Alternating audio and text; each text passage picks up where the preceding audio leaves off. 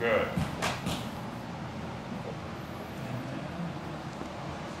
Okay. Right from there. Now reverse bow, hammer fist. Good. Lock up, catch and uncatch. And step on through, take them down. Upward elbow. Back knuckle, go into that forward bow. Drop down on the elbow. Okay, shoot your hands down, double shoot. And look to your right.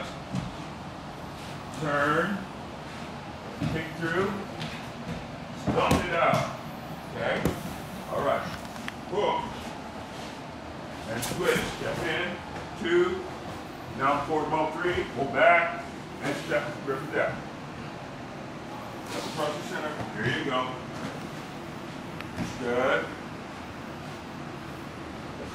There you go. Nice. Ball.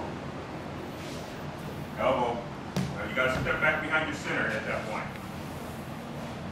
Good. Lock up.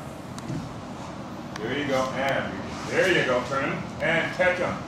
And go. One, two. And there you go. Drop that elbow. Overhead elbow. And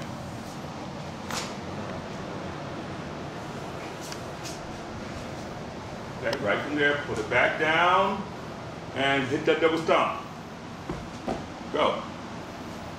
Then out. There you go. There you go, good. Launch your kick.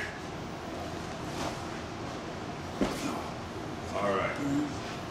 Let's go over that part right there. Come back with you. Looking to your left. This is a grab.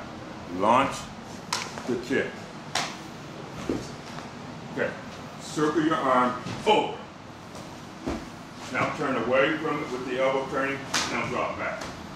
Now There you go. And that's the idea.